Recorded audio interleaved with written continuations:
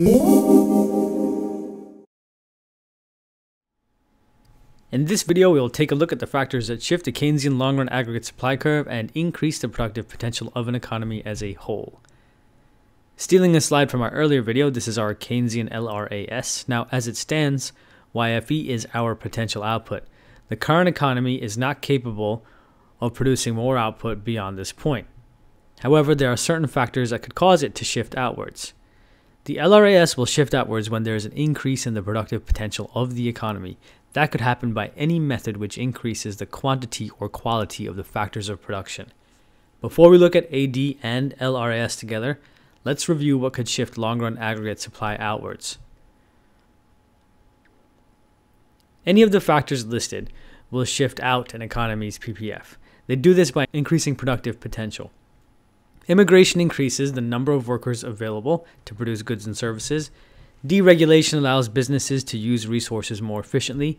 Increasing labor market participation results in more workers joining the workforce as opposed to remaining outside of it.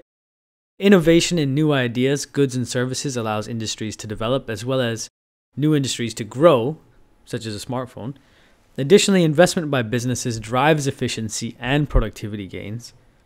Education provides higher skills to a workforce, although this may take time to take effect. A change in these that would benefit businesses will shift a country's PPF outwards, as can be seen here in the movement from PPFA to PPFB. The very same factors that shift out a country's production possibilities curve or frontier are the factors that shift out the LRAS, which is the productive potential of an economy.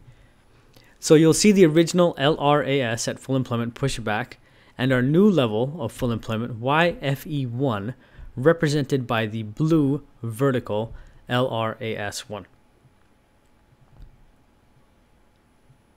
Here they are side by side, and you can see that the potential output has increased.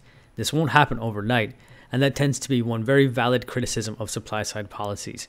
They should be evaluated based on the time they take in order to be effective and also at their opportunity cost. So that brings us to the end of this video on Keynesian long run aggregate supply. If you liked it, click the like button, subscribe, and let me know what you think in the comments. If you have any questions, you can leave them here or email me at enhancetuition at gmail.com or tweet me at enhancetuition. If you'd like a copy of this presentation, just follow the link in the video notes. That is us done, and I will see you in the next one.